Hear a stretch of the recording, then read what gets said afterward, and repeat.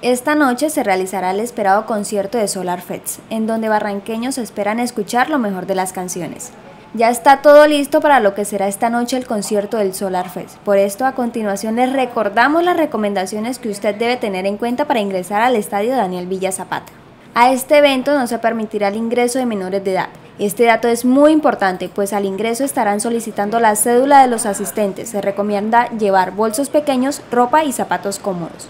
Tenga en cuenta que tampoco se permitirá ingresar comidas ni bebidas, y mucho menos podrá ingresar en estado de embriaguez o bajo sustancias psicoactivas. Recuerde que no se permite el uso de correas ni llevar sombrillas. Tampoco podrá fumar dentro del concierto ni tener objetos cortopunzantes o cualquier tipo de arma. Les recordamos además que las puertas del estadio se abrirán a partir de las 5 de la tarde y cada persona deberá presentar su boleta al ingresar. Las personas que tengan movilidad reducida deberán ingresar con un acompañante y serán guiados por el personal logístico. Así que ya saben, si desean disfrutar este concierto al máximo, no olviden estas recomendaciones y dispóngase para disfrutar de artistas locales y nacionales que prometen un gran espectáculo para los asistentes.